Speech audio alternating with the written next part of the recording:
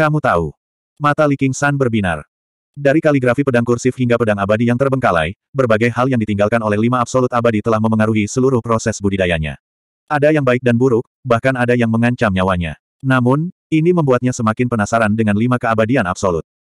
Dia jelas seorang kultivator, tapi dia disebut abadi. Hal ini sendiri sangat tidak biasa. Lupakan seorang kultivator yang telah melalui tiga kesengsaraan surgawi, bahkan seorang kultivator yang telah melalui empat atau lima kesengsaraan surgawi tidak akan memenuhi syarat untuk disebut demikian. Terlebih lagi, saudara Ox memujinya. Mungkin legenda itu benar, dan dia benar-benar seorang Bani Set Immortal. Li Qingshan tidak lagi peduli dengan harta karun biasa, tetapi harta karun yang ditinggalkan oleh lima keabadian absolut bukanlah harta biasa. Harta inti dari makam pedang adalah pedang abadi yang terbengkalai. Mengabaikan kepribadian jiwa pedang yang menyimpang, dalam hal kekuatan saja, itu mungkin pedang terbaik di dunia.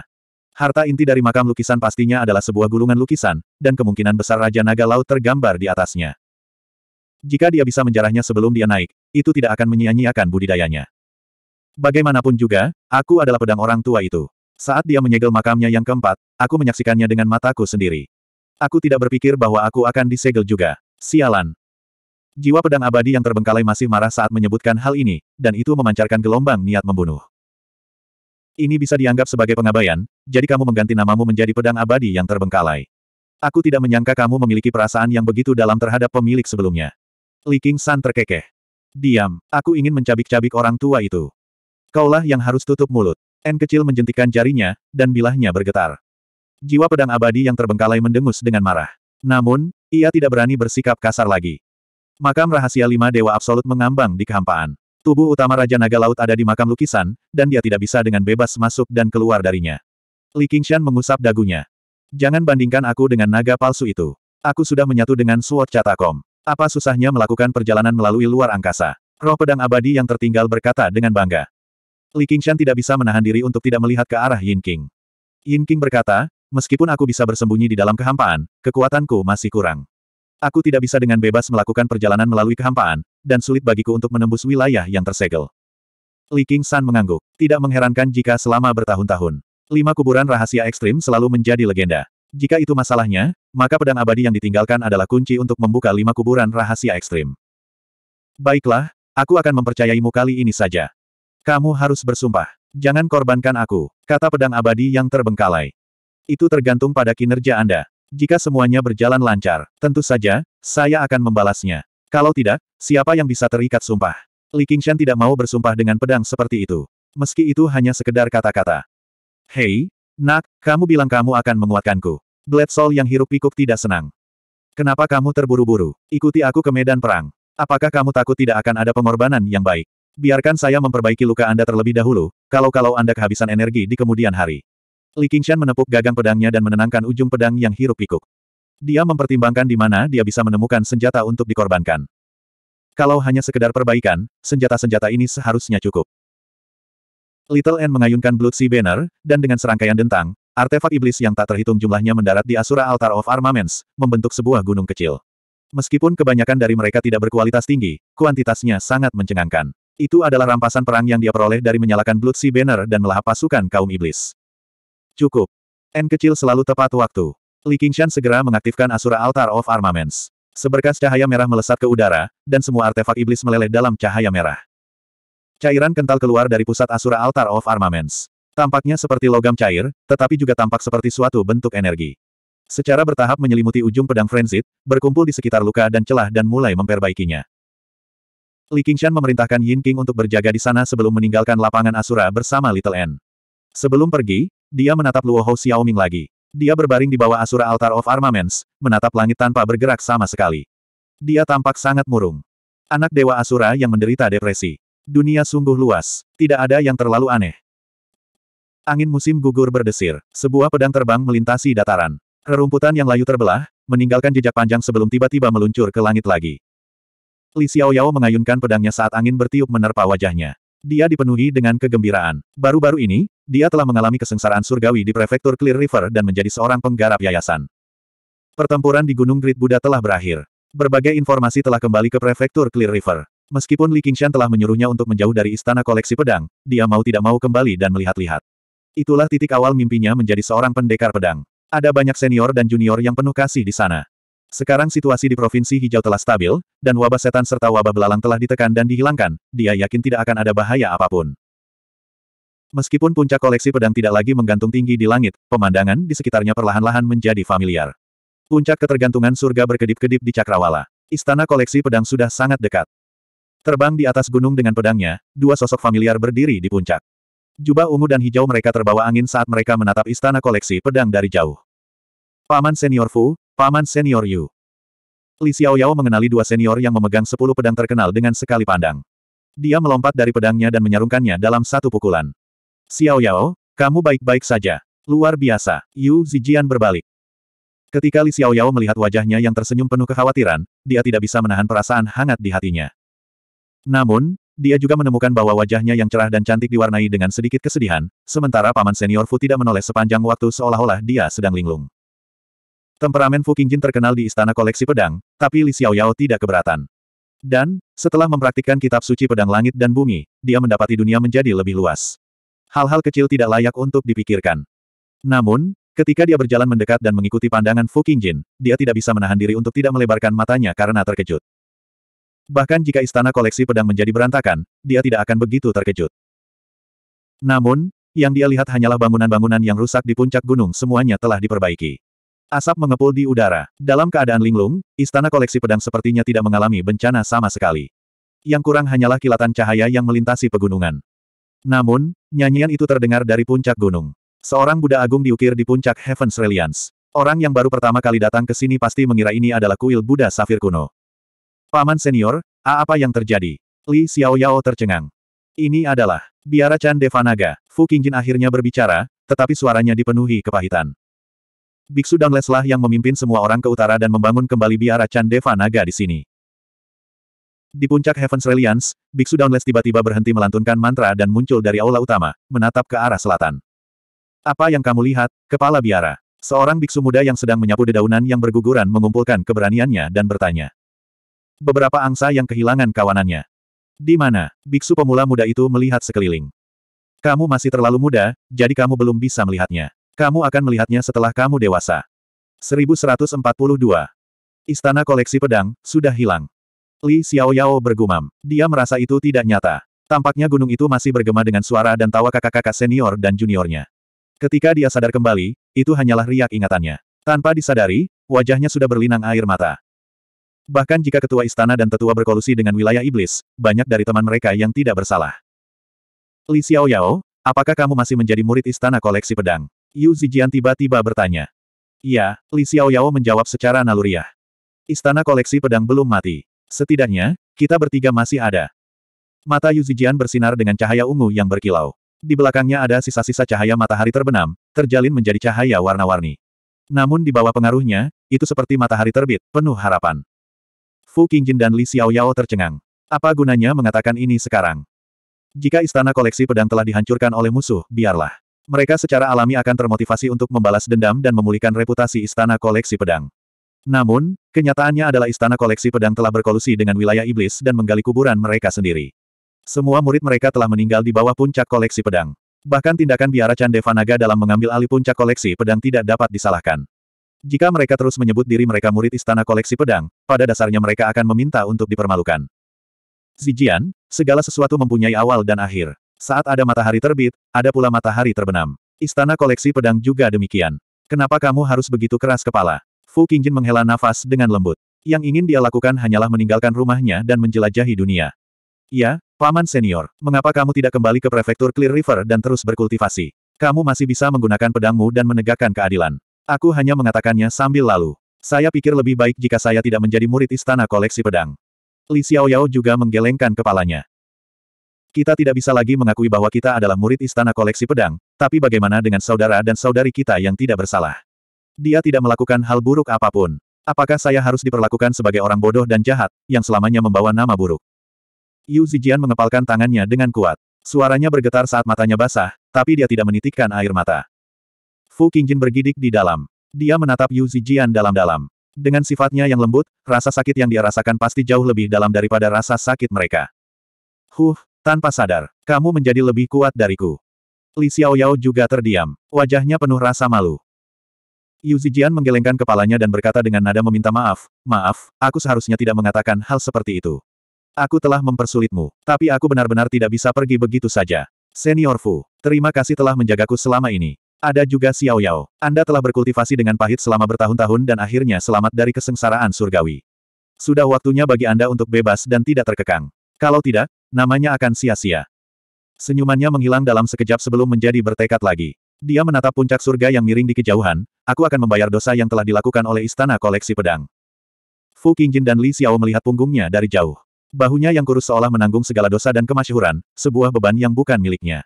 Mereka tidak bisa tidak saling memandang. Fu Qingjin menghela nafas panjang. Zijian, oh Zijian. Hem. Kamu benar-benar mempermalukan kami berdua dengan tindakanmu. Fu Qingjin tersenyum. Aku tidak, Yu Zijian melambaikan tangannya dengan bingung, tapi dia tidak tahu bagaimana menjelaskannya sendiri. Kau tahu, aku hanyalah sampah yang hanya tahu cara menghela nafas di reruntuhan. Jika bukan karenamu, aku bahkan tidak akan tahu bagaimana melanjutkan hidup. Tolong biarkan aku pergi bersamamu. Fu Qingjin membungkuk sedikit. Bibi senior Yu, aku akan terus menjadi murid istana koleksi pedang. Meskipun saya tampaknya satu-satunya murid, saya pasti tidak akan mengecewakan Anda. Kamu tidak perlu memaksakan dirimu. Namun, jika aku menjadi pendekar pedang hebat di masa depan dan seseorang bertanya padaku apakah aku berasal dari istana koleksi pedang, bagaimana aku harus menjawabnya? Sebaiknya aku mengakuinya saja. Aku akan mampu menghadapi senior dan juniorku, dan aku akan mampu menghadapi pedang di tanganku. Kamu, luar biasa. Yu Zijian bersorak dan memeluk mereka, menghilangkan kesedihan dan kemurungannya. Seekor ular tidak akan pergi tanpa kepala. Karena istana koleksi pedang masih berdiri, pasti ada raja istana. Fu Qingjin tersenyum. Iya, meskipun hanya ada satu murid, masih perlu ada seorang raja istana. Li Xiaoyao memandang Yu Zijian sambil tersenyum. Yu Zijian ragu-ragu. Baiklah, aku akan menjadi raja istana. Hasilnya, posisi penguasa istana yang pernah mengguncang provinsi hijau diputuskan dalam beberapa kata. Salam, Tuan Istana. Fu Qingjin dan Li Xiaoyao membungkuk ke arahnya bersama-sama. Mereka berdua serius, tanpa rasa tidak hormat sedikit pun. Yu Zijian secara naluriah ingin menghindar, tetapi dia masih berdiri teguh dan menerimanya dengan agak tidak nyaman. Tuan Istana, jika kita ingin membangun kembali istana koleksi pedang, kita mungkin harus mencari lahan energi spiritual lainnya. Untungnya, ada banyak lahan kosong di Provinsi Hijau sekarang, jadi tidak akan sulit untuk menemukannya, kata Li Xiaoyao. Saya tahu beberapa tempat yang cocok. Kita bisa menyelidikinya, kata Fu Qingjin. Tidak, ayo kita pergi ke puncak surga dulu. Yu Zijian menunjuk ke pegunungan di kejauhan. Li Xiaoyao terkejut. Mengapa mereka pergi ke puncak surga di saat seperti ini? Apakah mereka akan mengambil kembali puncak miring surga dari para biksu? Itu tidak mungkin. Padahal, konon bibi senior Yu sangat akrab dengan paman keduaku. Jika dia mendapat dukungannya, masih ada harapan. Namun, Fu Qingjin sepertinya memahami sesuatu. Biksu Daunless berbalik dan berkata pada biksu muda itu, sampaikan perintahku. Bersiaplah untuk menerima tuan dari istana koleksi pedang. Iya, kepala biara. Biksu muda itu membuang sapunya dan berlari menuju aula besar. Beberapa saat kemudian, bel berbunyi. Seluruh gunung dipenuhi lonceng dan genderang. Para biksu berkumpul, semuanya dipenuhi rasa ingin tahu. Bukankah penguasa istana koleksi pedang sudah lama meninggal? Dan, meskipun dia masih hidup, dia akan menjadi musuh bebuyutan biara Candevanaga, jadi mengapa dia masih menerimanya dengan begitu sopan? Yu Zijian, Li Xiaoyao, dan Li Xiaoyao mendaki gunung dengan berjalan kaki, yang membuat para biksu semakin terkejut. Bukankah budidaya mereka terlalu lemah? Dan, selain junior tanpa nama di belakang, mereka bahkan tidak membawa pedang, namun mereka tetaplah pembudidaya pedang. Li Xiaoyao berjalan di sepanjang jalan pegunungan yang sudah dikenalnya, dikelilingi oleh para biksu. Dia merasa sangat tidak nyaman dan tidak nyaman di dalam. Namun, dia menyadari bahwa ekspresi Yu Zijian menjadi semakin tegas. Dia tidak lagi selembut biasanya. Dia benar-benar memiliki kedudukan sebagai Raja Istana. Apakah dia ingin bernegosiasi dengan Biksu Daunless? Sesampainya di puncak gunung, seorang biksu jangkung berwajah tegas berdiri di sana. Kultivasi Li Xiaoyao di masa lalu terlalu rendah, jadi inderanya sangat terbatas. Baru sekarang dia memahami seperti apa seorang kultivator yang hebat. Sikap mereka pada dasarnya seperti gunung. Dia tidak bisa menahan diri untuk tidak menahan napas. Kemudian, dia memikirkan bagaimana paman keduanya memelototinya. Dia berpikir tentang bagaimana biksu ini menjadi lebih kuat lagi, itulah sebabnya dia sedikit santai. Namun, pemikiran untuk mengembalikan puncak surga yang miring telah lenyap. Penguasa istana koleksi pedang, Yu Zijian, bersama dengan tetua Fu Qingjin dan murid Li Xiaoyao, memberi salam kepada kepala biara Daunless. Silakan masuk ke aula, Tuan Istana. Biksu Daunless memandangnya dengan heran dan memberinya kesopanan yang cukup. Namun, Yu Zijian menolaknya, menyatakan bahwa dia bukan tamu. Setelah itu, dia secara terbuka meminta maaf kepada Biara Candeva Naga sebagai penguasa istana koleksi pedang. Dia juga menyerahkan semua gunung termasuk puncak miring surga kepada Biara Candeva Naga sebagai kompensasi. Matahari terbenam, dan sinar matahari menyebar. Setelah itu, malam yang panjang. 1144. Li Qingshan dengan malas berbaring di atas daun beringin selebar perahu. Matahari musim gugur menyinari perutnya, membuatnya merasa sedikit mabuk. Tentu saja, ratusan botol anggur yang diminumnya mungkin menjadi penyebab utamanya, tapi apa bedanya? Angin sepoi-sepoi bertiup, membuatnya merasa nyaman. King Shan, kamu telah berbaring di sini selama sepuluh hari. Suara Raja Pohon beringin bergema di kanopi yang bagaikan awan. Tolong naikkan sedikit lebih tinggi. Oke, itu saja. Li Qingshan mengubah sudut daun beringin agar dia lebih mudah berjemur di bawah sinar matahari. Tiba-tiba, dia menyadari perkataan Raja Pohon beringin. Dia memiringkan kepalanya dan berkata, sepuluh hari. Apakah selama itu? Heh, sepertinya aku baru saja meminum cangkir pertamaku. Saat dia berbicara, dia mengambil sebotol anggur dan meneguknya. Dengan lemparan biasa, toples anggur itu menghilang ke gunung awan di langit. Kemudian, dia berbaring dengan nyaman dan bersendawa. Dengan cara setengah bernyanyi dan setengah bernyanyi, dia berkata, Minum dan bernyanyi, hidup ini singkat. Bagaimana aku bisa mengatasi kekhawatiranku? Hanya dukang. Huff, Aku tidak menyangka Raja Daemon Bulan Utara yang legendaris begitu dekaden.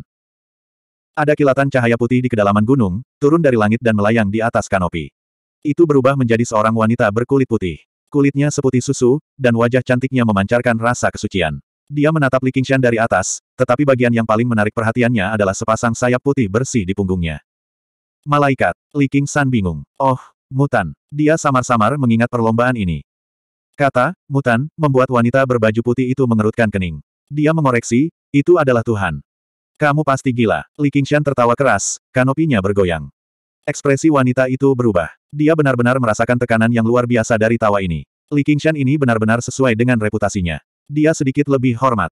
Saya Bai Jie dari negara Dewa Awan. Saya diakon emas istana. Saya di sini atas perintah raja saya untuk mengundang Anda ke negara dewa. Siapa namamu? Li Qingshan tercengang. Bai Jie, wanita itu dengan bangga mengulanginya. Nama baik, sudut mulut Li Qingshan sedikit melengkung saat dia mengamati Bai Jie dari ujung kepala sampai ujung kaki. Bai Jie merasa sangat tidak bahagia, tapi dia menekan rasa jijik di hatinya dan berkata, ikutlah denganku. Aku tidak akan pergi, kata Li Qingshan. Kamu sebenarnya menolak, ini undangan dari kota di antara awan. Tahukah Anda berapa banyak orang yang ingin naik ke kota di antara awan tetapi tidak mampu? Bai Jie berkata dengan tidak percaya. Pergilah, kamu menghalangiku dari sinar matahari. Li Qingshan melambaikan tangannya dengan tidak sabar. Oke, kuharap kamu tidak menyesalinya. Bai Jie berubah menjadi cahaya putih dan menghilang ke cakrawala. Li Qingshan memperhatikan mereka pergi sambil minum. Mengapa kamu menolak? Tanya Raja Pohon Beringin. Berhentilah berpura-pura. Tidak bisakah kamu merasakannya? Li Qingshan tiba-tiba mendapat inspirasi. Pohon beringin besar yang berpura-pura kuat. Hahaha. Setelah memahami transformasi penyuruh dan memahami hukum dunia, indranya menjadi semakin tajam. Undangan kali ini tidak lepas dari keramah tamahan saudara-saudara minoritas. Jelas ada bahaya tersembunyi. Karena itu, kamu seharusnya tidak menolak. Kata Raja Pohon Beringin. Dengan kepribadian Li Qingshan, mengapa dia takut akan bahaya apa pun? Aku tidak menginginkan seorang wanita saat ini, aku juga tidak menginginkan musuh. Huh, Anda sepertinya benar-benar tidak ingin saya tinggal di sini. Bagaimana menurutmu? Raja Pohon Beringin membalas dengan sebuah pertanyaan. Bahkan langit menjadi gelap. Alkohol yang diminum Li Qingshan akhir-akhir ini semuanya diseduh olehnya. Li Qingshan masih pilih-pilih soal rasanya, jadi dia menggunakan hukum dunia untuk membuat anggur ini mencapai efek berumur 100 tahun atau bahkan 1000 tahun. Banyak kultivator tidak dapat melihat begitu banyak anggur spiritual yang berharga sepanjang hidup mereka. Orang ini meminum beberapa ratus toples seperti air minum. Li Qingshan seperti orang yang tinggal di rumah memakan orang yang lebih tua. Ketika dia tidak melakukan apa-apa, dia akan minum sedikit dan menjadi gila. Jelas sekali, para tetua tidak tahan. Bukankah aku melakukannya untuk melindungi Little N? Li Qingshan merentangkan tangannya. N kecil masih berkultivasi di bawah pohon, menyempurnakan artefak tulang putih lagi. Dia tidak membutuhkanmu untuk melindunginya. Raja pohon beringin membeberkan alasannya tanpa menahan diri sama sekali. Dia bertanya, apakah kamu tidak memiliki keinginan untuk naik ke sembilan surga? Tidak perlu terburu-buru, tidak perlu terburu-buru. Kemabukan di mata Li Qingshan lenyap, dan kejernihannya pulih. Dia menatap langit di kejauhan. Dia tidak hanya berbaring di sana untuk bersantai dan beristirahat. Budidaya sembilan transformasi iblis dan ilahi telah mencapai tingkat yang relatif stabil. Meminum banyak anggur spiritual ini juga merupakan persiapan untuk budidaya lebih lanjut. Baiklah kalau begitu. Aku hanya takut kemauanmu melemah, jadi aku mengingatkanmu. Apakah kamu masih ingin minum? Heh, aku tidak akan minum lagi, atau aku akan benar-benar berselisih denganmu. Li Qingshan melompat dan mematahkan lehernya. Ceritakan padaku tentang Federfolk. The Federfolk adalah salah satu dari tujuh ras besar lainnya. Nama keluarga mereka adalah Bai, dan mereka bangga dan pendiam. Mereka mengaku sebagai keturunan dewa sejati dan memandang rendah ras lain, termasuk ras lain. Adapun manusia dan Dasmon, tidak perlu menyebut mereka. Mereka telah mendirikan kerajaan dewa di langit yang disebut kota di antara awan, yang berbeda dari kerajaan dewa orang lain di bumi. Dikatakan bahwa sejak lahir hingga mati, kaki mereka jangan pernah menyentuh tanah.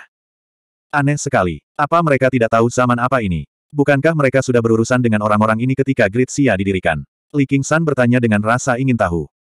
Bangsa bulu adalah salah satu ras yang paling sedikit terkena dampak perang. Meskipun mereka memiliki kekuatan yang luar biasa, mereka secara alami membenci konflik dan pembunuhan, jadi hanya ada sedikit perselisihan internal. Sejak zaman kerajaan dewa, mereka jarang sekali mengalami konflik dan pembunuhan. Melibatkan diri mereka dalam pertempuran di permukaan. Mereka hanya akan mengambil tindakan ketika kaum iblis menyerang secara massal. Mereka semua membalikan keadaan pada saat-saat penting, dan mereka dipandang sebagai kekuatan yang menentukan melawan wilayah iblis. Ketika Gritsia didirikan, mereka menjaga netralitas sepanjang waktu. Setelah itu, mereka sepertinya telah menandatangani semacam perjanjian, dan mereka tidak terlibat dalam perang.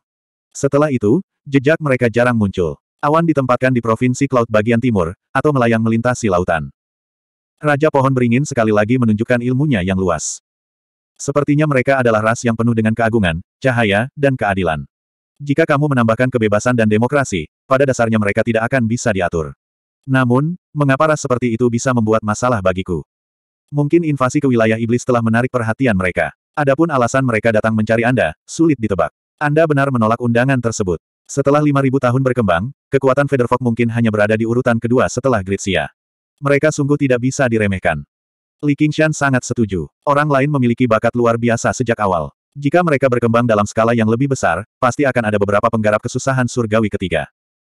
Namun, Selama dia tidak pergi ke kota di antara awan, kaum Federfolk tidak bisa melakukan apa pun padanya, jadi dia tidak perlu terlalu khawatir. Sudah waktunya aku jalan-jalan. Li Qingshan mengulurkan tangannya ke lapangan Asura dan mengeluarkan pedang bunga liar milik En miliknya. Semua luka di sana telah pulih. Itu bersinar terang dan tampak lebih tajam. Sebelum dia naik, masih banyak hal yang harus dia selesaikan. Raja Naga Laut, aku datang. Di saat yang sama, seberkas cahaya putih melesat ke dalam istana yang tersembunyi di balik awan yang jaraknya ribuan kilometer. Dia menolaknya. Iya. Bagaimana kekuatannya? Ini bukan masalah kecil, tapi dia sama sekali tidak terkalahkan, apalagi yang mulia. 1145. Di pulau terpencil di lautan tinta, Chu Danxing fokus pada lukisan. Raja Naga Laut berdiri dengan tangan di belakang punggung, memberinya bimbingan dari waktu ke waktu. Tiba-tiba, dia menoleh ke belakang, dan sepasang mata naga muncul di matanya yang kosong. Danxing, ayo berhenti di sini untuk hari ini. Iya tuan. Tinggalkan lautan tinta. Ah, Chu Danxing terkejut. Dia di sini. Apakah kita benar-benar harus bertarung? Kita harus berjuang. Raja Naga Laut berjalan keluar rumah. Tatapannya melintasi lautan dan bertemu dengan sepasang mata merah. Punggung Li Qingshan menghadap matahari terbenam. Dia berdiri di atas karang hitam. Angin laut membawa aroma tinta, dan rambut merahnya berkibar tertiup angin. Dipenuhi rasa ingin tahu, dia membungkuk seperti kucing besar. Dia tidak tahu seperti apa rasa air laut yang tinta itu. Hei, kamu yang di sana, kamu tidak bisa minum air laut. Seorang nelayan sedang mengemudikan perahu nelayannya kembali ke pantai. Ketika dia melihat ini, dia tidak bisa menahan diri untuk tidak meneriakkan peringatan. Li Qingshan mengangkat kepalanya dan melirik ke arah nelayan itu. Dia melihat rambut merah tua itu tidak diwarnai merah oleh matahari terbenam. Sepasang mata merahnya sepertinya mengandung sihir, menyebabkan dia terdiam karena takut. Li Qingshan akhirnya masih meminum seteguk air laut. Rasa pahit dan asin menyebar melalui mulutnya, dan dia meneguknya sambil meneguknya. Dia menjulurkan lidahnya yang menghitam dan bergumam pada dirinya sendiri, ini benar-benar menjijikan, tapi rasanya agak istimewa. Dia lalu melambai ke arah nelayan itu. Hei, saudaraku, cepat pulang. Badai akan datang. Ah, baiklah, nelayan itu kembali sadar dan segera mendayung perahu. Li Qingshan mengeluarkan sebuah gulungan dan membukanya. Itu adalah kaligrafi tiga absolut yang digambar secara pribadi oleh lima absolut abadi. Dia melihatnya lagi dengan cermat. Sejak dia memperoleh kaligrafi pedang kursif pertama di benteng angin hitam hingga sekarang, segala sesuatu yang berhubungan dengannya muncul di benaknya. Pada akhirnya, dia melemparkannya ke lautan tinta. Kaligrafi tiga absolut melayang di atas lautan yang terbakar dan lambat laun tenggelam ke dalam laut.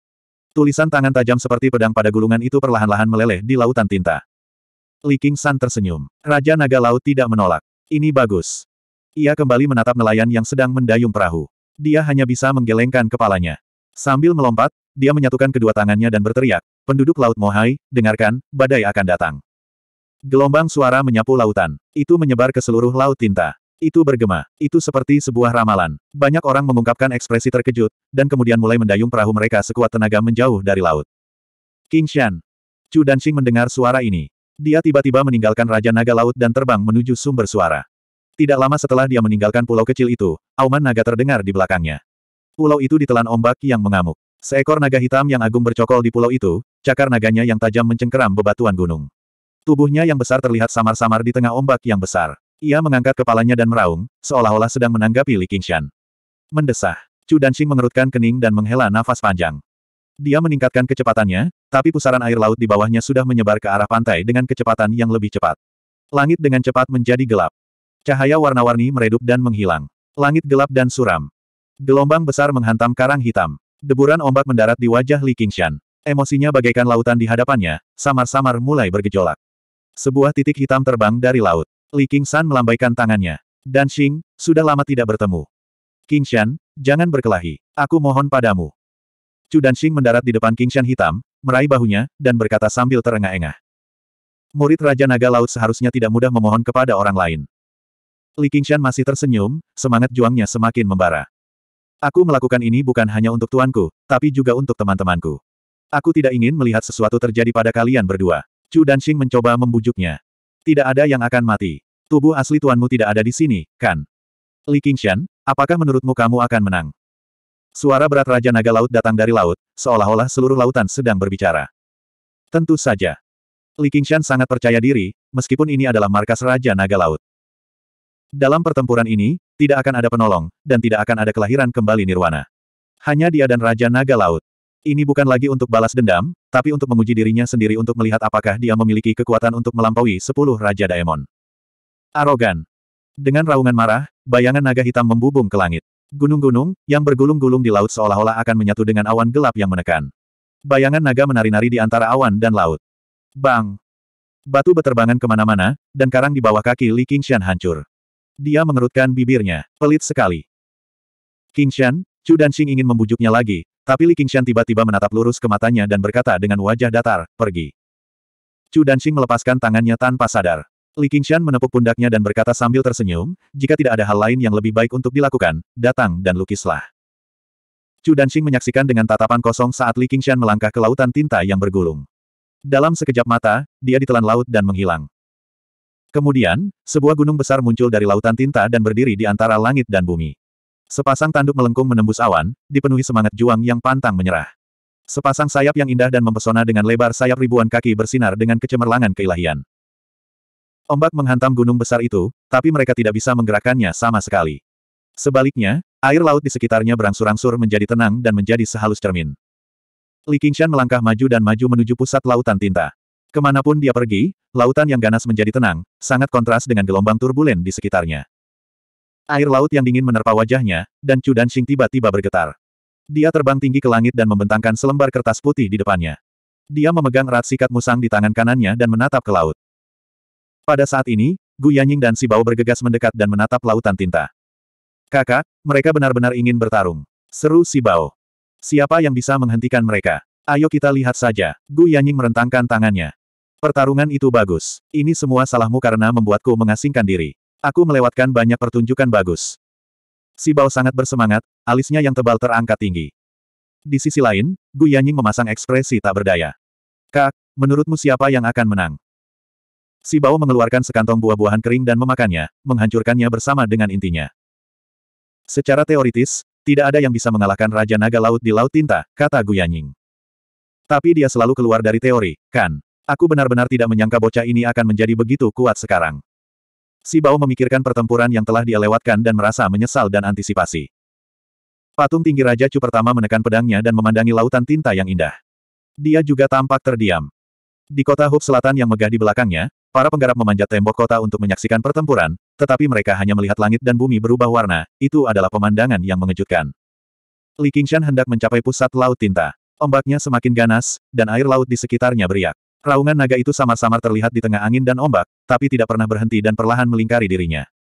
1146. Merusak. Awan terbelah, dan laut terbelah. Li Qingshan tiba-tiba berbalik dan menatap mata kepala naga. Tanduk naganya yang bergerigi mengarah ke langit, dan surainya yang hitam pekat menari-nari tertiup angin. Pada saat yang sama, ia mengeluarkan raungan marah. Auman harimau dan auman naga mengguncang seluruh lautan tinta. Angin tiba-tiba menjadi sepuluh kali lebih kuat, membuat dunia kacau balau. Di puncak kota Hub Selatan, para penggarap buru-buru membacakan mantra untuk menahan angin kencang yang menerpa wajah mereka. Bau tinta dan darah yang menyengat masih membuat mereka pusing, dan mereka memandangi laut yang indah dengan ketakutan. Inilah kekuatan Raja Iblis Bulan Utara dan Raja Naga Laut. Li Qingshan baru saja mengangkat pedang panjangnya ketika dia terlempar ke laut dengan kekuatan yang kuat. Penglihatannya dipenuhi dengan tubuh naga yang kuat, mengalir seperti sungai besar, melingkari tubuh agung Dewa Iblis. Seolah lautan tinta menekan tubuhnya. Anggota tubuhnya kesakitan, dan dia dikunci dengan kuat oleh cakar naga yang tajam, tenggelam ke dalam lautan tinta yang gelap. Lautan tinta seakan tak berdasar, tenggelam tanpa henti. Dia mendengar suara yang dalam dari Raja Naga Laut bercampur dengan Auman Naga, Li Qingshan, ini adalah kesalahan terbesar yang pernah kamu buat dalam hidupmu. Mungkin kemenangan di Gunung Grid Buddha membuatmu sombong, dan ini akan menjadi pekuburanmu.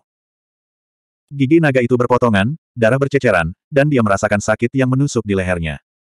Heh, kata-kata ini terdengar familiar sekali. Selain itu, kesombongan hanyalah ilusi Anda. Senyuman Li Qingshan berubah menjadi kemarahan, dan garis-garis harimau dengan cepat menyebar, membentuk karakter raja di dahinya. Cakar dan gigi naga itu menusuk semakin dalam ke tubuhnya, dan rasa sakitnya seperti menuangkan minyak ke api, mengubah amarahnya menjadi amarah. Sayap Dewa Angin tiba-tiba melebar, memecah air sejauh ribuan mil. Bang! Seekor harimau merah melompat keluar dari lautan tinta, dan ekornya yang panjang melingkari bilah panjangnya. Ia dengan cepat menyapu permukaan laut dan menebas tubuh naga itu. Ke mana pun bilahnya lewat, gelombang besar berbentuk busur setinggi ribuan kaki muncul di permukaan laut, seperti tirai yang menjulang ke langit, menutupi naga dan harimau. Tirai naik dan turun. Raja naga terbelah dua, dan harimau merah melepaskan diri, dengan bangga berdiri di antara langit dan bumi. Bagus, kuat. Si Bao terpesona. Meskipun dia adalah seorang putri dan telah mengalami ratusan pertempuran, pertempuran tingkat ini belum pernah terjadi sebelumnya. Lupakan tentang Raja Naga Laut. Yang lebih mengejutkannya adalah Li Qingshan tampaknya tidak dirugikan dalam situasi yang sangat tidak menguntungkan ini. Sebaliknya, dia sepertinya yang menang.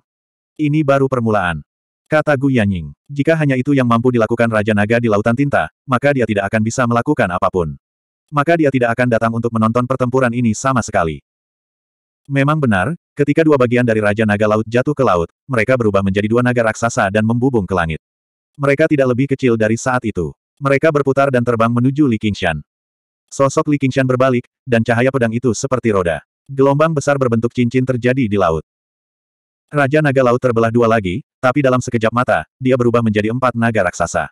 Auranya tidak hanya melemah, tetapi juga meningkat. Cahaya pedang menembus langit yang gelap gulita seperti kilat, menebas Raja Naga Laut berkali-kali. Namun, bayangan naga antara laut dan langit bertambah. Mereka mengepung Li Qingshan, seolah-olah dia berada dalam rawa yang dalam. Semakin dia berjuang, semakin dalam dia tenggelam. Ini, bagaimana dia bisa menang? Hati si Bao bergetar. Dia tidak bisa membedakan wujud sebenarnya dari Raja Naga Laut. Atau mungkin tidak ada wujud aslinya. Laut Tinta adalah Raja Naga. Raja Naga adalah Laut Tinta. Jika Laut Tinta tidak mati, Raja Naga tidak akan mati. Itu hanya bisa dianggap sebagai permainan netral, nak. Perhatikan baik-baik. Ini mungkin musuh terbesar keluarga Anda, kata Gu Yanying. Musuh terbesar keluargaku. Si Bao mengangkat alisnya dan menghela napas lagi. Dia berkata dengan tidak setuju, saya tidak ingin bermusuhan dengannya karena suatu rencana sembarangan. Gu Yanying tersenyum dan menepuk kepalanya. Sepasang mata elangnya masih sama, menembus penghalang badai dan ombak, menatap kedalaman laut tinta. Li Qingshan, pada tahap ini, apakah kamu masih berpikir kamu bisa menang? Seratus naga tinta berbicara pada saat bersamaan. Lautan awan yang telah terkoyak menutup kembali, mengembun menjadi gunung awan yang lebih tebal dan suram. Menyatu dengan seluruh laut tinta memang merupakan langkah yang mengesankan. Jika kamu tidak menanyakan pertanyaan bodoh seperti itu, aku akan lebih terkesan. Li Qingshan merentangkan tangannya, seolah ingin merangkul seluruh laut dan langit. Datang! Raungan naga bergema di langit dan laut. Awan turun dan laut bergolak. Seolah-olah dunia sedang runtuh, ingin menghancurkan Li Qingshan menjadi berkeping-keping. Melihat sekeliling, seratus naga raksasa menyerbu bersama-sama. Li Qingshan melompat, energi iblis meledak, Battle Demon Possession. Cahaya pedang yang menyilaukan, orang gila di ujung jalannya. Aliran waktu sepertinya melambat. Setiap gerakannya begitu jelas, begitu jelas hingga seolah-olah membeku. Mengangkat tangannya, mengangkat alisnya, berputar, mengayunkan pedangnya. Angin bertiup, iblis harimau menari dengan liar. Dalam keadaan linglung, Li Qingshan menghilang, berubah menjadi badai yang berkobar seperti api, berkedip-kedip dengan tajam seperti pisau tajam. Angin bersiul bagaikan nyanyian perang, membelah awan, lautan tinta, dan naga raksasa. Haha, Kamu pikir kamu bisa mengalahkanku hanya dengan angka. Jika Anda adalah Laut Tinta, maka saya akan menghancurkan seluruh Laut Tinta. Badai merah mulai mengamuk. Tidak peduli berapa banyak inkarnasi yang diubah oleh Raja Naga Laut, mereka tidak dapat melakukan apa pun padanya. Sesaat, hujan badai hitam turun dari langit, dibubarkan oleh badai, dan Laut Tinta bergoyang. Raja Naga Laut terdiam. Tanpa disadari, dia sudah menjadi begitu kuat. Akhirnya, saatnya menentukan pemenangnya, gumam Guyanying pada dirinya sendiri. Banyak bayangan naga berkumpul menjadi satu lagi, menatap badai merah tua. Seribu tahun memasuki lukisan. Dengan suara yang dalam dari Raja Naga Laut, badai, laut, awan, dan hujan badai membeku dalam sekejap. Semua warna lenyap, semua suara memudar, hanya menyisakan kesunyian hitam putih, bagai lukisan megah. Tubuh Chudanxing basah kuyup oleh hujan badai. Tangan kanannya menggenggam erat sikat bulu musang, menatap laut yang bergejolak, namun tidak turun. Dia mengkhawatirkan kedua belah pihak, dan dia tidak ingin melihat salah satu pihak kalah. Hatinya penuh dengan kontradiksi dan konflik. Pada saat ini, matanya tiba-tiba bersinar, dan darah giok muncrat. Dia tidak lagi merasa cemas, dan hanya sebuah lukisan yang tersisa di hatinya. Li Qingshan linglung sejenak, dan menemukan bahwa dia telah kembali ke bentuk manusianya. Dia melihat ke tangan kanannya, yang dilapisi tinta hitam tebal, seolah-olah dilukis oleh seorang pelukis yang sangat terampil, hidup dan hidup. Rasanya aneh menggunakan istilah seperti itu untuk menggambarkan dirinya, tapi memang terasa begitu. Awalnya, saya tidak ingin menggunakan jurus ini. Meminjam kekuatan langit dan bumi, dan bahkan lima kekuatan tertinggi, di laut tinta ini terlalu tidak adil. Raja Naga Laut Tinta, atau lebih tepatnya, Mo Huhen, berjalan mendekat. Riak hitam menyebar di bawah kakinya, dari dalam hingga dangkal. Itu sangat misterius. Sosoknya terus berubah antara manusia dan naga, tapi itu memberikan perasaan alami. Namun, Li Qingshan merasa dia benar-benar terisolasi dari langit dan bumi, tidak mampu menyerap spiritual apa pun dari langit dan bumi. Ia bahkan tidak bisa merasakan keberadaan bumi. Dia mengerti bahwa ini adalah rumah sebenarnya dari Raja Naga Laut. Pemenangnya adalah Raja. Apa gunanya seni bela diri? Anda berbicara seolah-olah Anda sudah menang. 1147. Langit dan bumi terdiam. Suara angin, hujan, dan ombak menyatu dalam lukisan itu. Yang terus berubah adalah manusia dan naga berwarna tinta. Di antara gerakannya, ada bekas tinta yang panjang, dan kecepatannya sangat cepat. Dua jejak tinta yang kuat dan anggun saling bersilangan, terkadang bergabung dan terkadang terpisah, semakin cepat. Pada akhirnya, mereka tampak terjerat bersama, membentuk pusaran air yang berputar cepat, dan gulungan gambar menjadi kacau. Semua orang menyaksikan pertempuran yang mengejutkan ini. Hanya Chu Danxing yang fokus pada lukisan di depannya. Darah mengalir dari pergelangan tangannya hingga ujung kuas, mengalir deras di lukisan itu. Darah hijau vermilion, darah berubah menjadi tinta. Wajahnya berangsur-angsur memucat, dan semangatnya menjadi lebih kuat dengan sedikit fanatisme. Dia melemparkan segala sesuatu di dunia ke belakang pikirannya dan hanya fokus pada lukisan di depannya. Gu Yanying juga melihat ke belakang karena terkejut, lalu berbalik untuk melanjutkan menonton pertempuran. Setelah jangka waktu yang tidak diketahui, tiba-tiba terjadi retakan. Itu sangat lembut namun sangat jernih, seolah terngiang-ngiang di hati setiap orang, memecah keheningan antara laut dan langit. Sesosok jatuh dari langit dan mendarat di lautan tinta dengan bunyi celepuk, lalu perlahan melayang ke atas. Itu adalah Li King San. Matanya tertutup rapat, dan dia melayang tak bergerak di permukaan laut. Rambut merah panjangnya tergerai, dan salah satu kaki kirinya serta salah satu lengan kanannya telah menghilang. Tubuhnya penuh dengan luka, namun luka itu tidak berisi darah segar, melainkan tinta hitam. Gu Yanying menghela nafas lega, tapi itu berubah menjadi desahan. Pemenangnya telah ditentukan. Dia, mati dalam pertempuran. Si Bao tidak percaya. Gu Yanying menggelengkan kepalanya. Ia memenangkan. Li Qingshan tiba-tiba membuka matanya dan menatap ke langit dengan tenang. Senyum muncul di bibirnya. Raja Naga, kamu kalah. Sebelum dia selesai berbicara, terdengar hiruk pikuk suara retakan, yang berubah dari lembut menjadi menggelegar, bergema di seluruh laut tinta.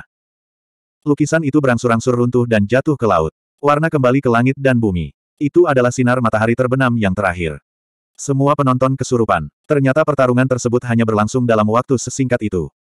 Mo Wuhen tiba-tiba muncul lagi, berdiri di atas laut. Dia hanya berjarak beberapa meter dari kepala Li Qingshan. Dia menatapnya. Apa? Apakah kamu masih ingin bertarung? Li Qingshan mengangkat kepalanya dan menatapnya. Energi spiritual langit dan bumi melonjak ke dalam tubuhnya, dan kekuatan ilahi bumi memberinya sumber kekuatan yang tak ada habisnya. Nyala api burung Phoenix menyala. Dia menghilangkan noda hitam dan menyembuhkan lukanya. Bahkan anggota badannya patah, terlahir kembali dalam lingkaran api. Lukisan seribu musim gugur memang merupakan jurus yang sangat ampuh, terutama di lautan tinta ini. Namun, kamu masih belum bisa menandingi tinjuku. Li Qingshan mengangkat tangan kanan barunya ke dalam api. Kekuatan getaran memang sangat bagus dalam menahan metode seperti itu. Bilah bunga akhir mengeluarkan suara lembut. Ya, masih ada bilahnya. Raja Naga Laut tidak mengucapkan sepatah kata pun, dia juga tidak bergerak. Dia sangat menyadari satu hal. Bahkan jika dia mengandalkan seluruh laut tinta, dia tidak akan mampu menghancurkan Li Qingshan. Dia hanya akan mampu bertahan lebih lama dan tidak dikalahkan begitu cepat. Sederhananya, kekuatan penghancur Raja Naga Laut tidak dapat menembus kulit penyu dan kulit sapi untuk menghancurkan tulang harimau Li Qingshan dan memadamkan api burung phoenix. Ini sangat aneh. Kamu sebenarnya tidak memiliki kekuatan mistik bawaan. Kata Li Qingshan. Meskipun Raja Naga Laut telah menggunakan berbagai metode, tidak ada satupun yang dapat dianggap sebagai kekuatan mistik bawaan yang sebenarnya. Bagi ras iblis, kekuatan mistik adalah dasar dari segalanya. Jika Raja Naga Laut memiliki kekuatan mistik ofensif apa pun yang benar-benar dapat memadatkan dan melepaskan kekuatan besar Laut Tinta, hasil pertempurannya tidak akan pasti. Namun, yang menurutnya aneh adalah mantan putra mahkota ras iblis Kingsu, Moyu, yang jauh lebih lemah dari Raja Naga Laut, juga bisa menggunakan kekuatan mistik bawaan. Karena aku bukan iblis, Raja Naga Laut akhirnya berbicara. Oh, kamu mengubah Moyu dari lukisan menjadi iblis, tapi kamu masih tidak bisa menahan diri. Sungguh menyedihkan memikirkannya. Orang yang selalu kuanggap sebagai musuh kuat sebenarnya hanyalah sebuah lukisan, atau lebih tepatnya, jiwa sebuah lukisan. Li Qingshan menggelengkan kepalanya dan tiba-tiba melompat, menghancurkan Mo Wuhen hingga berkeping-keping dengan sebuah pukulan. Tetesan tinta berceceran di seluruh langit. Namun, terlepas dari apakah kamu ingin bertarung atau tidak, aku tidak akan berhenti sampai aku benar-benar mengalahkanmu. Sosok Mo Wuhen kembali mengembun di langit yang jauh, mengangguk sedikit ke arah Li Qingshan. Jika dia berhenti begitu saja, itu akan menjadi penghinaan terbesar. Namun, bukanlah gayanya untuk terlibat secara membabi buta, mengetahui bahwa dia bukan tandingan Mo Wuhen. Mata naga di matanya menghilang dan menjadi kosong lagi. Ekspresinya tiba-tiba menjadi sedikit suram. Pada saat ini, Chu Danxing menyelesaikan pukulan terakhir. Yang ia gambarkan bukanlah proses pertarungan sengitnya, melainkan adegan naga dan harimau yang saling mengaum. Pertarungan sengit yang terjadi selanjutnya seakan menyatu ke dalam lukisan itu, memberikan imajinasi tanpa akhir kepada orang-orang. Dia memperlihatkan senyuman pucat, dan aura di sekujur tubuhnya melemah hingga ekstrim. Baru pada saat itulah dia tiba-tiba menyadari bahwa pertempuran telah berakhir. Dia mencari-cari sosok Raja Naga Laut, dan tiba-tiba sebuah suara terdengar di belakangnya. Lukisan yang bagus. Menguasai. Chu dan Xing berbalik. Raja Naga Laut sedang melihat lukisan itu dengan mata kosong, mendesah kagum. Kamu telah memperoleh sebagian dari inti dao lukisan lima absolut. Kamu dapat mengolahnya secara perlahan sekarang. Tuan, kamu Chu dan Xing sepertinya merasakan sesuatu. Kamu sudah keluar begitu lama. Sudah waktunya untuk kembali. Raja Naga Laut berkata dengan lemah. Tiba-tiba, dia melambaikan lengan bajunya dan lautan tinta bergolak lagi. Lingkaran garis pantai berangsur-angsur kehilangan warna tintanya dan mengembun menuju tengah laut. Tetesan tinta terakhir naik ke langit dan melayang di telapak tangan Raja Naga Laut. Itu ditembakkan ke dantian Chu dan Xing, menyatu ke dalam anggota tubuh, jiwa, dan kesadarannya, dan melonjak melalui pembuluh darahnya. Sedangkan lautan tinta di bawahnya berubah warna menjadi biru tua. Pengaruh 10.000 tahun keberadaan lima absolut abadi telah dihilangkan, berubah menjadi laut biru tua. Setelah melakukan semua ini, sosok Raja Naga Laut menghilang bersama angin. Chu Danxing mengulurkan tangannya tetapi hanya menyentuh hangatnya angin laut. Pada saat yang sama, di kehampaan yang jauh, seekor naga tinta perlahan-lahan muncul di dinding lukisan seputih salju. Ia kuat dan ingin terbang, tetapi matanya kosong. Tampaknya tidak berdaya dan hanya bisa terjebak di dinding. Dua sosok muncul secara samar-samar. Salah satunya adalah pria berjubah biru dan yang lainnya adalah pria berjubah kuning. Pria berjubah kuning itu bertanya, Rekan Daois, mengapa kamu berhenti? Kamu hanya menggambar naganya dan bukan matanya. Itu benar-benar kehilangan daya tariknya. Pria berjubah biru itu menjawab, hanya dengan menyentuhnya saja sudah membuatku bisa naik melampaui langit. Lupakan saja. Oh, tidak apa-apa, tidak apa-apa. Pria berjubah kuning itu tampak tidak percaya. Para penggarap telah berkultivasi dengan pahit selama ribuan tahun. Sangat sulit bagi mereka untuk naik. Bagaimana mungkin sebuah lukisan berani mengatakan bahwa mereka bisa melampaui langit? Itu sungguh konyol. Pria berjubah biru itu sepertinya tidak menyadarinya. Dia tersenyum dan memandangi naga di lukisan itu. Matahari terbenam dan bulan terbit, memancarkan cahaya jernih. Chu Danxing mengingat semua pengalamannya selama bertahun-tahun dan tidak bisa menahan tangis. Dia menyekanya dengan lengan bajunya. Lengan bajunya ternoda tinta dan dia tidak bisa menahan diri untuk tidak terkejut. Danxing, kamu baik-baik saja. Li Qingshan datang dan bertanya dengan prihatin. Dia melihat seluruh tubuh Chu Danxing hitam pekat. Dia hampir tidak terlihat dalam kegelapan. Itu benar-benar hitam pekat seperti tinta. Bahkan bagian putih matanya pun benar-benar hitam. Saya. Chu Danxing melihat tangannya. Dia memahami bahwa Raja Naga Laut telah menggunakan metode luar biasa untuk menyerap semua kekuatan lautan tinta ke dalam tubuhnya. Dia tidak bisa menahan perasaan lebih sedih dan menangis dengan sedihnya. Hei, jangan menangis. Sayang sekali. Li Qingshan tahu bahwa Chu Danxing tidak bisa mengendalikan kekuatan ini sama sekali, apalagi mencernanya. King Shan, Apakah kamu masih menepati janjimu? Chu Danxing menyeka air matanya dan bertanya pada Li Qingshan. Tentu saja, Li Qingshan tersenyum. Makam lukisan akan segera dibuka. 1148. Burung Phoenix terbang melintasi langit, menuju Laut Tinta. Seorang gadis memegang pedang berdiri di belakang burung Phoenix, memandangi angin kencang dan awan di kejauhan. Dia mengarahkan pedangnya dan berkata dengan kasar dan kekanak-kanakan, Hei, cepatlah. Ini sudah dimulai. Aku tahu, aku tahu. Jika aku tidak takut kamu akan jatuh, mengapa aku terbang begitu lambat? Jangan memberiku makan sepanjang waktu. Bagaimanapun juga, aku adalah saudaramu. Li Fengyuan mempercepat dan juga ingin menyaksikan pertempuran itu. Dia bergumam, ayah tua benar-benar keterlaluan. Dia sebenarnya tidak memberitahuku tentang hal ini. Diam. Gadis harimau itu baru saja membuka mulutnya ketika hembusan angin bertiup ke dalamnya. Dia terhuyung dan tidak bisa berdiri dengan mantap, jadi dia segera berbaring. Li Fengyuan terkekeh. Gadis kecil, mari kita lihat siapa yang akan tutup mulut. Tiba-tiba, cahaya putih turun dari langit dan menghalangi jalan mereka. Bai Jie berkata dengan ekspresi serius, burung ilahi Phoenix, rajaku mengundangmu ke kota di antara awan. Pergilah, anjing yang baik tidak akan menghalangi jalan. Li Fengyuan mengepakkan sayapnya dengan tidak sabar dan mencoba mengitarinya. Seperti yang kubilang, rajaku telah mengundangmu ke kota di antara awan. Dengan kilatan cahaya, Bai Jie menghalangi di depannya lagi. Nada suaranya bahkan lebih tidak perlu dipertanyakan lagi. Burung ilahi Phoenix yang agung sebenarnya memiliki kata-kata vulgar seperti itu. Seperti ayah, seperti anak laki-laki. Kamu ingin bertarung. Mata Li Fengyuan membelalak. Bukan itu yang kuinginkan, tapi aku tidak bisa melawan perintah raja. Jika kamu bersikeras, aku hanya bisa menggunakan kekerasan. Bai Jie melebarkan sayapnya dan melepaskan lingkaran cahaya putih, menunjukkan kekuatan luar biasa dari kesengsaraan surgawi tingkat tiga. Aku ingin melihat trik apa yang kamu punya, idiot. Li Fengyuan tidak takut sama sekali. Dia memuntahkan gelombang api yang mengamuk yang langsung menelan Bai Jie.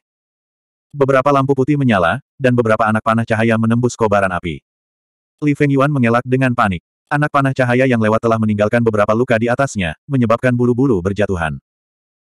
Bai Jie menarik busur di tangannya, terbungkus cahaya putih, dan berkata dengan nada meremehkan, bahkan jika itu adalah burung ilahi. Dia hanya seorang komandan iblis. Namun di dalam hatinya, dia menghela nafas dengan emosi. Seperti yang diharapkan dari seekor burung phoenix. Meskipun sebagian besar anak panahnya menyelidiki, dia tidak menahan diri. Akibatnya, tidak ada satupun anak panah yang mengenai sasarannya. Manusia bulu ini tidak mudah untuk dihadapi. Raja Iblis biasa tidak bisa dibandingkan dengannya. Lebih baik pergi dulu. Pegang erat-erat, aduh. Li Fengyuan bahkan belum selesai berbicara ketika sepuluh jari gadis harimau itu mengeluarkan cakar tajam dan menggenggam erat punggungnya. Tapi saat ini, dia tidak peduli. Dengan teriakan burung phoenix, dia melebarkan sayapnya dan terbang tinggi. Dalam sekejap, dia berubah menjadi seberkas cahaya warna-warni yang melesat ke arah Mohai. Itu adalah kemampuan bawaannya, Tausan Li Soaring Phoenix. Bai Jie menyingkirkan busurnya, berubah menjadi cahaya putih, dan mengikuti dari belakang. Dia terkejut saat mengetahui bahwa dia tidak dapat dengan mudah melampaui Li Fengyuan. Jika mereka benar-benar melarikan diri ke Laut Tinta, itu akan merepotkan. Dengan lambaian tangan kanannya, pita cahaya putih bersih keluar. Cahaya warna-warni menyala, dan Li Fengyuan menghindarinya. Namun, dia merasakan beban di punggungnya berkurang, dan dia menoleh ke belakang. Apa? Kamu tidak menginginkannya lagi? Bai Jie mencengkeram tengkuk gadis harimau itu. Gadis harimau itu meraung dan memamerkan taring dan cakarnya, tapi bagaimana dia bisa melakukan sesuatu terhadap orang yang begitu kuat? Biarkan dia pergi. Li Fengyuan sangat marah. Dia tidak berguna bagiku. Jika kamu ikut denganku, aku akan bisa membantumu. Aku akan melepaskannya. Bai Jie berkata sambil tersenyum. Jangan dengarkan pelacur ini. Gadis harimau itu meraung. Betapa vulgar dan tercela. Bai Jie mengerutkan kening, dan dia segera meningkatkan kekuatan di tangannya. Gadis harimau itu mengatupkan giginya, tapi tidak mengucapkan sepatah kata pun. Oke, aku ikut denganmu, kata Li Fengyuan. Bai Jie melambaikan lengan bajunya, dan pita cahaya terbang keluar. Mereka mengikat Li Fengyuan dengan kuat. Biarkan dia pergi, jika kamu berani menarik kembali kata-katamu. Aku akan, aku akan. Heh, kamu mau apa? Kata Bai Jie. Aku akan binasa bersamamu. Huff, apakah aku akan berbohong padamu? Bai Jie berkata dengan nada menghina, dan dengan santai membuang gadis harimau itu, berubah menjadi cahaya putih yang menembus langit. Gadis harimau menyesuaikan sosoknya di udara, menggunakan keempat anggota tubuhnya untuk terbang mengikuti angin. Dia berlari dan mengejar, tapi dia hanya bisa melihat cahaya putih menghilang di timur. Sambil mengaum, dia menoleh dan melihat ke laut tinta. Namun, apakah kamu tidak takut aku akan menemukan tubuh tuanmu dan membunuhnya lagi? Li Qingshan bertanya pada Chu Danxing sambil tersenyum. Kamu, Aku, Chu Danxing tertegun sejenak, dan ekspresinya berubah, tetapi sulit untuk melihat perubahan ekspresi di wajahnya yang hitam pekat. Kalau begitu sebaiknya kamu tidak ikut denganku. Bagaimana aku bisa menarik kembali kata-kataku? Li King San tertawa. Jangan khawatir, ini pertarungan terakhir kita. Chu Danxing menghela nafas. Ini mungkin hasil terbaik. Selamat, rekan Daois, atas kemenangan penuhnya. Gu Yanying menangkupkan tangannya dan memberi selamat padanya. Si Bao, yang berada di sampingnya, memandang Li Qingshan dari ujung kepala sampai ujung kaki seolah sedang melihat binatang langka. Tentu saja, kata Li Qingshan. Dan Xing, kamu harus bersiap. Gu Yanying berkata dengan tegas. Iya, aku akan berkultivasi sekarang. Chu Danxing berbalik dan pergi. Li Qingshan menggelengkan kepalanya, merentangkan tangannya, dan bertanya, Komandan Gu, bagaimana kekuatanku sekarang? Sembilan provinsi hanyalah sebuah sudut. Di masa lalu, dia pernah berkata kepadanya, Provinsi Qing terbentang sejauh 30 ribu mil, dan Jianghu hanyalah sebuah sudut. Pada saat itu, dia hanyalah seorang pemula di Jianghu. Sekarang, sembilan provinsi seperti Jianghu baginya, dan dia tidak akan tinggal lama. Aku berhutang sesuatu padamu. Kamu bisa memberitahuku sekarang. Kalau tidak, saat aku naik, semuanya akan sia-sia. Waktunya tidak tepat. Masalah ini tidak bisa dipaksakan. Oh, apakah kekuatan ini tidak cukup? Li San sedikit terkejut. Menurut pengalaman saya, segala sesuatu yang tidak bisa dipaksakan sebagian besar karena Anda tidak cukup kuat. Bisa dibilang begitu, kata Gu Yanying. Kamu, apa yang kamu inginkan? Li Qingshan menatapnya dalam-dalam. Kamu akan tahu kapan saatnya tiba. Namun, jika kamu ingin naik, silakan saja. Jangan terlalu khawatir. Gu Yanying membuka kipas lipat gioknya dan melambaikannya dengan ringan. Dia masih anggun seperti sebelumnya, tanpa sedikit pun ketergantungan. Li Qingshan menunjukkan kekaguman. Ini masih Gu Yanying yang dia kenal. Hem. Dia melihat sekeliling dan melihat sesosok tubuh kecil berlari dari tepi laut. Sosok itu melintas dan tiba di depan gadis harimau itu. Mengapa kamu di sini? Kakak dibawa pergi, kata gadis harimau itu sambil terengah-engah. Oleh siapa? Li Qingshan mengerutkan kening. Pelacur bersayap putih, kata gadis harimau itu dengan gigi terkatup. Seperti yang diharapkan, mereka datang dengan niat buruk. Apakah kamu baik-baik saja? Li Qingshan menepuk kepalanya. Aku baik-baik saja. Kalau bukan karena aku, gadis harimau itu menundukkan kepalanya, air mata mengalir di matanya. Dia terlihat sangat sedih. Baiklah, aku akan menyelamatkan anak itu. Li Qingshan mengangkat gadis harimau itu. Untuk kali ini, dia menunjukkan kelembutan. Siapa pelacur bersayap putih itu? Gu Yanying tiba-tiba bertanya. Orang bersayap bernama Bai Jie. Dia menyebut dirinya Si Jinwu. Kalau begitu, orang yang dibawa pergi adalah Li Feng Yuan, anakku, apa kamu tidak tahu? 1149. Gu Yanying berkata pada si Bao, Er, bawa anakmu pulang dulu. Oke. Si Bao datang ke hadapan Li Qingshan dan mengulurkan tangannya ke gadis harimau betina, ikutlah denganku. Gadis harimau betina itu menatapnya. Cari ibumu. Li Qingshan menyerahkan gadis harimau yang merasa enggan itu kepada si Bao dan melihat mereka pergi. Mari kita bicara di tempat lain, kata Gu Yanying. Ke mana? Li Qingshan mengerutkan alisnya seolah badai sedang berkumpul. Timur, Yunzu. Kamu tidak butuh bantuan. Kudengar manusia bersayap tidak mudah untuk dihadapi. Li Qingshan tidak menyangka Gu Yanying begitu tegas. Meskipun dia tidak sabar untuk pergi ke kota di antara awan dan memukuli ibunya, lalu seluruh keluarganya, dan mengajari para penculik terkutuk ini apa arti kata kematian. Masalah ini sulit diselesaikan hanya dengan kekuatan. Aku masih belum cukup kuat. Kata Li Qingshan, eksploitasi militernya bisa dianggap termasyur, namun manusia bersayap masih berani melakukan hal ini. Mereka harus tidak takut. Bisa dibilang begitu. Gu Yanying terbang lebih tinggi ke langit dan menyatu dengan angin astral yang kencang. Li Qingshan mengikuti dari belakang. Masalah yang kamu ingin bantuanku ada hubungannya dengan manusia bersayap, kan? Lebih tepatnya, ini ada hubungannya dengan Raja Manusia Bersayap. Semakin jauh mereka pergi ke timur, semakin tebal awan di langit. Pada akhirnya, itu hampir tidak ada habisnya. Awan menumpuk ke atas dan ke bawah, dan guntur serta kilat terlihat dari waktu ke waktu. Bai Jie membawa Li Feng Yuan dan melewati awan. Mengapa rajamu ingin bertemu denganku? Li Feng Yuan mencoba melepaskan diri, tetapi sabuk cahaya putih lebih kuat dari yang dia bayangkan dan dengan kuat menahan kekuatannya. Kamu akan tahu kapan kamu sampai di sana, kata Bai Jie. Apakah kamu tahu siapa ayahku? Nama belakangnya adalah Li. King Shan. Kamu tahu. Seperti ayah seperti anak, legenda mengatakan bahwa burung phoenix memiliki lima kebajikan. Kebajikan, kebenaran, kesopanan, kebijaksanaan, dan kepercayaan. Anda berbicara kasar, itu tidak sopan. Anda menanyakan pertanyaan bodoh, dan itu tidak bijaksana. Anda berjanji untuk mengikuti saya ke kota di antara awan, tetapi Anda mencoba melarikan diri, dan itu tidak dapat dipercaya. Anda hanya bisa dianggap sedikit baik hati. Saya mungkin kasar, tidak bijaksana, dan tidak dapat dipercaya. Agar aku bisa tidak tahu malu sepertimu. Bai Jie mendengus dingin dan mengibaskan pita putih itu. Li Feng Yuan jatuh ke gunung awan hitam yang berkilauan dengan kilat dan gemuruh guntur.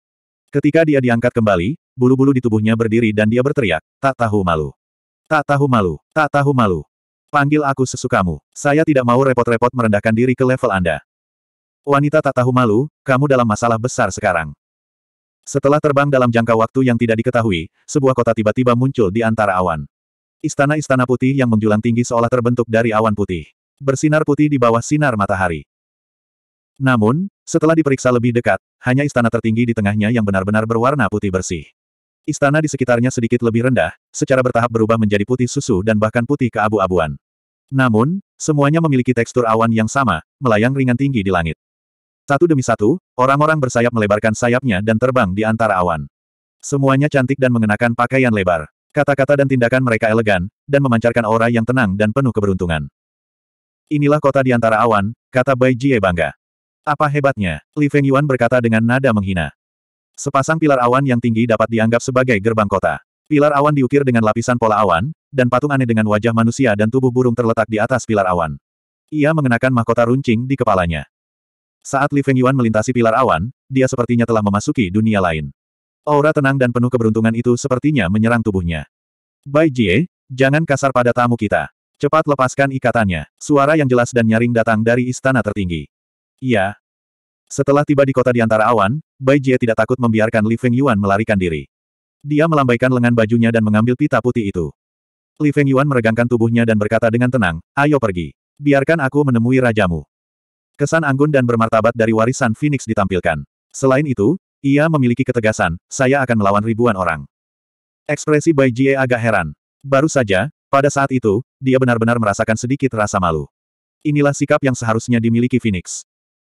Di jalan putih bersih, para manusia bulu berbaris di jalan untuk menyambutnya.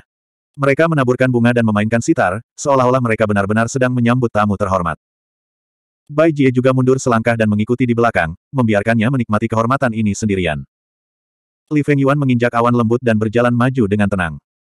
Phoenix tidak pernah kekurangan kemuliaan, juga tidak membutuhkan kemuliaan. Sesampainya di depan istana di tengah kota, terdapat dua baris pilar awan di alun-alun depan istana. Di atas setiap pilar terdapat patung berwajah manusia dan berbadan burung. Namun, ada sedikit perbedaan dalam ekspresi mereka. Ketika dia melewati alun-alun, dia akan merasa bahwa dia terus-menerus diawasi. Menaiki anak tangga yang tinggi, Li Feng Yuan mendongak dan melihat tiga kata besar, Istana Bulu Ilahi, bersinar terang di bawah sinar matahari. Cepat undang dia masuk. Suara jernih dan megah terdengar lagi dari istana. Li Feng Yuan bertindak seolah-olah dia tidak mendengarnya.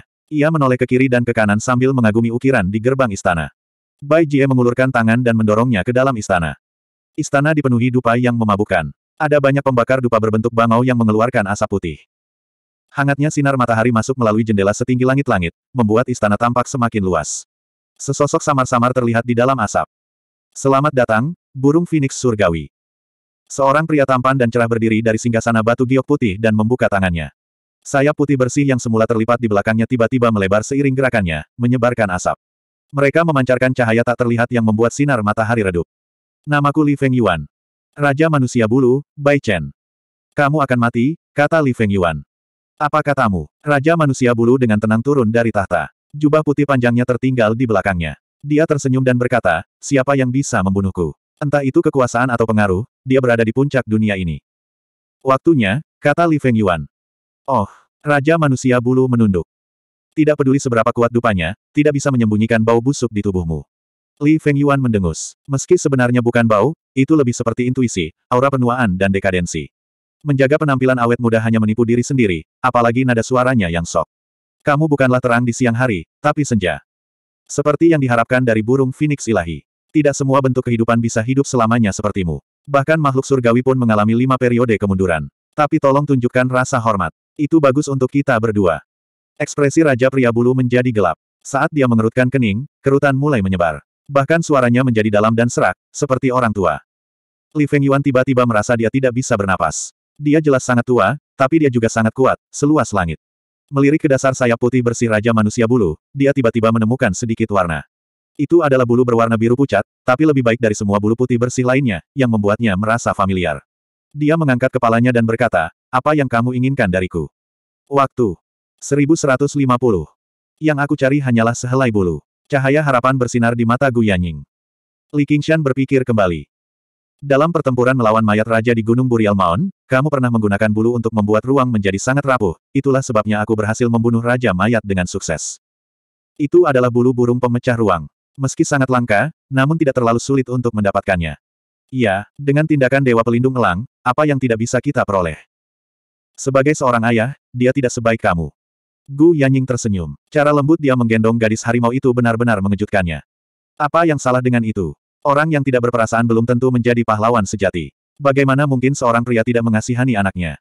Kata Li King San, bagaimanapun, dia adalah darah dagingnya sendiri. Bagaimana mungkin dia tidak merasakan apa pun? Karena dia punya perasaan, tidak perlu berpura-pura. Tak berperasaan belum tentu menjadi pahlawan sejati. Bagaimana mungkin seorang pria tidak mengasihani anaknya? Gu Yanying mengulangi. Sayangnya, tidak demikian halnya dalam komunitas kultivasi. Setiap orang menggunakan perasaan mereka sebagai beban. Ada banyak sekali orang yang ingin menjadi tidak berperasaan dan tidak memiliki emosi. Seperti kamu. Tidak, di mata dunia, kamu sebenarnya sangat tidak berperasaan. Itu benar. Keduanya terdiam beberapa saat. Mereka terbang melintasi langit tanpa batas lagi, melewati awan dan pegunungan yang tak terhitung jumlahnya. Kita hampir sampai, kata Gu Yanying. Kota di antara awan, Li Qingshan menatap ke kejauhan. Tidak. Hem. Lihatlah. Gu Yanying menunjuk ke atas. Li Qingshan mengangkat kepalanya. Yang dia lihat hanyalah kabut yang sangat tinggi di langit. Agak sulit untuk melihat apa itu dengan latar belakang biru murni. Namun, dia dapat dengan jelas merasakan bahwa ruangan itu agak aneh, tetapi tidak terkoyak seperti gua iblis atau gerbang hantu lapar. Itu lebih seperti telah menimbulkan kekacauan. Sebagai hasilnya, dia melambaikan tangannya dan melepaskan cahaya mendalam yang menerangi semua, menarik kekacauan lebih dekat ke arahnya. Pada saat itu, kekuatan aneh sepertinya meluas. Cangkang mendalam spirit turtle terpelintir dan berubah bentuk. Namun, Baru saja, Li Qingshan telah menemukan bahwa kekacauan itu jauh lebih besar daripada yang terlihat. Itu menyelimuti radius 100 km, dan kedalamannya tak terukur. Dia tidak bisa tidak bertanya, apa itu? Sekitar 10 tahun sebelum kamu lahir, sehelai bulu jatuh dari langit. Itu menembus penghalang dunia ini, dan inilah jejak yang tertinggal. Gu Yanying menatap kehampaan yang kacau dengan ekspresi hormat. Bulu. Li Qingshan sangat terkejut. Jika dunia ini seperti telur, maka penghalang tersebut adalah cangkang telurnya. Praktisnya tidak bisa dihancurkan, meskipun dia menderita tremor iblis kerbau. Terlebih lagi, semakin tinggi ketinggiannya, semakin kuat angin astralnya. Bahkan untuk mendekatinya pun akan sulit. Terlepas dari apakah itu sarang iblis, gerbang hantu lapar, atau pusaran berwarna darah di lapangan Asura, alasan mengapa mereka bisa membuat lubang dan terhubung ke dunia ini adalah karena domain iblis, alam hantu lapar, dan alam Asura berkali-kali lipat lebih besar dari sembilan provinsi. Itu setara dengan meminjam kekuatan dunia. Meski begitu, sangat sulit untuk memperluasnya. Bahkan Kiong Kivin Celestial harus melewati gua iblis untuk turun, dan dia harus membayar harga yang mahal. Tidak dapat dibayangkan bagi seseorang untuk bertarung melawan dunia, karena energi yang dimiliki keduanya berada pada tingkat yang sangat berbeda. Karena itu, pemandangan di hadapannya benar-benar di luar akal sehat.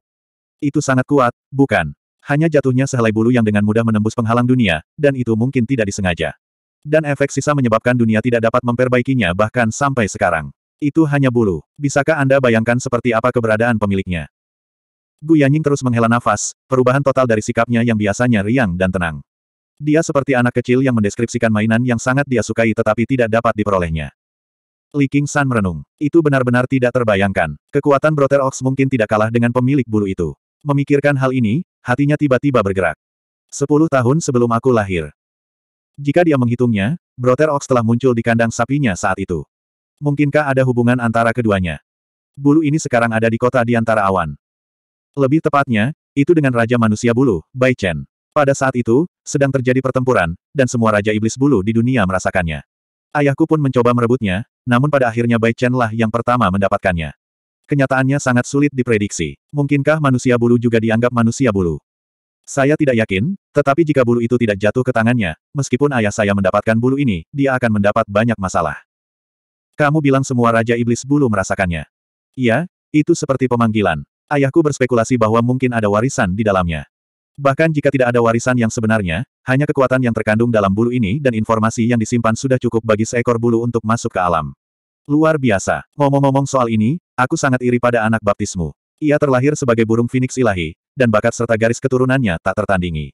Kenaikan hanyalah masalah waktu. Bahkan jika dia pergi ke dunia yang lebih tinggi, dia masih memiliki keuntungan yang besar. Dan aku masih mendapat dukungan di sembilan wilayah, tapi begitu aku naik, aku tidak lagi memiliki keuntungan apa pun.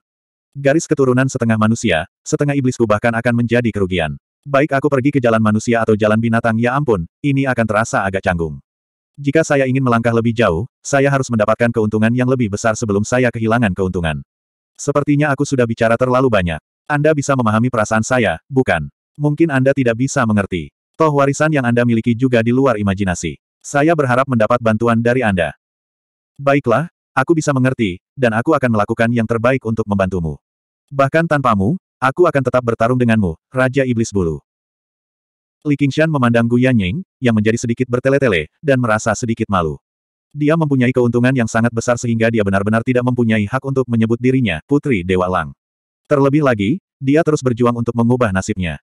Terima kasih. Gu Yanying sedikit mengangguk dan kembali normal. Tapi kamu masih belum mengerti. Alasan kenapa aku membawamu ke sini adalah untuk memberitahumu bahwa masalah ini tidak bisa diselesaikan dengan kekuatan murni. Setelah bertahun-tahun, bahkan jika Raja Iblis Bulu belum sepenuhnya menyempurnakan bulu itu dan menerima warisannya, selama dia bisa mengerahkan sedikit kekuatannya, itu akan sangat menakutkan. Saya bahkan curiga dia sudah menjadi yang terkuat di dunia. Lalu bagaimana rencana awalmu untuk menghadapinya? Aku tidak berencana untuk menghadapinya. Menurut umur Raja Iblis Bulu, dia telah lama mencapai batasnya, dan semua metode untuk memperpanjang hidupnya telah habis. Awalnya aku berencana untuk hidup lebih lama darinya sampai mati. Semua orang yang bersembunyi di kegelapan yang mendambakannya akan mengambil kesempatan ini untuk bergerak. Meskipun kekuatan di kota di antara awan kuat, mereka pasti akan jatuh ke dalam kekacauan, dan saya akan dapat memanfaatkan situasi ini. Gu Yanying mengulurkan tangannya dan meraih udara. Seperti elang pemburu, dia sepertinya telah menangkap bulu ajaib di tangannya. Pada saat itu, bahkan Dewa Elang pun akan menjadi lawannya, dan mereka mungkin harus memperjuangkannya dengan metode mereka sendiri. Dia telah menyiapkan banyak metode, dan Li Qingshan akan menjadi penolong terkuatnya. Namun, ketika dia membuka tangannya, dia mendapati tangannya kosong. Dia tidak bisa menahan senyum tak berdaya. Dia awalnya berharap Raja Iblis Bulu akan mampu bertahan selama beberapa tahun lagi, memberinya cukup waktu untuk tumbuh. Hanya dengan begitu dia akan lebih percaya diri di masa depan. Siapa sangka akan terjadi perubahan seperti itu. Dewa Iblis Bulu, yang telah menghilang selama bertahun-tahun, sebenarnya akan muncul lagi di sembilan prefektur. Kekuatan yang dimiliki Phoenix adalah simbol kehidupan abadi. Raja Iblis Bulu pasti membawa pergi Li Feng Yuan untuk memperpanjang hidupnya. Jika dia dibiarkan sendirian, tidak ada yang bisa memperkirakan berapa lama dia akan bertahan kali ini. Bisa jadi seratus tahun, seribu tahun, atau bahkan lebih lama.